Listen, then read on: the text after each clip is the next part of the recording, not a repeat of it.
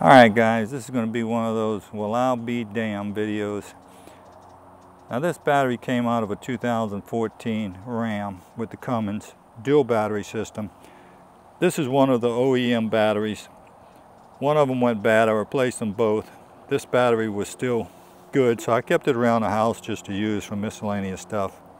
But the reason I wanted to make this video in the first place is because I know some of you still have these batteries in use and I've always thought they were maintenance-free batteries. In fact, that's what I've always heard Mopar call them. But you actually can check the electrolyte level, the fluid level, water level in them. This whole cap comes off as opposed to usually what you'd see as individual caps or maybe three at a time. And I found that very interesting because those of you that are still running these batteries here, you might want to pop that off and check your fluid level. It'll probably extend the life of these batteries. These are not AGM batteries. Maybe the newer trucks have them, but these trucks didn't have them. Let's check this electrolyte and see what it looks like. Looks like my hydrometer is happy to see me this morning.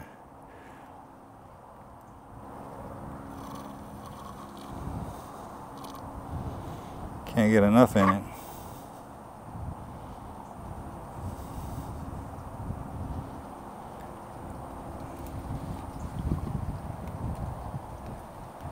So as you can see, hopefully, that stuff is shot. In fact, it's pretty much neutralized, I guess. This thing was in my shop when it blew up.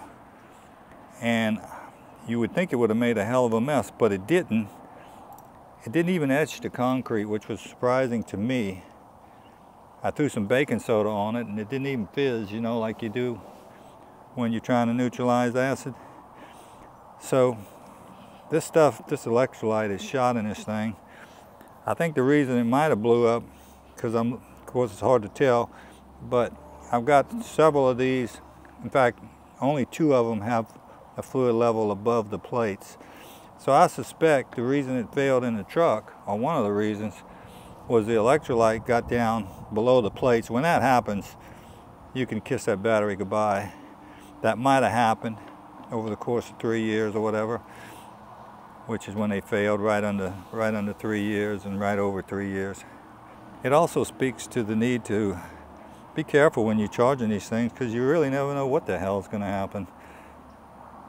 But anyway, I appreciate you guys watching my video. Until next time, adios.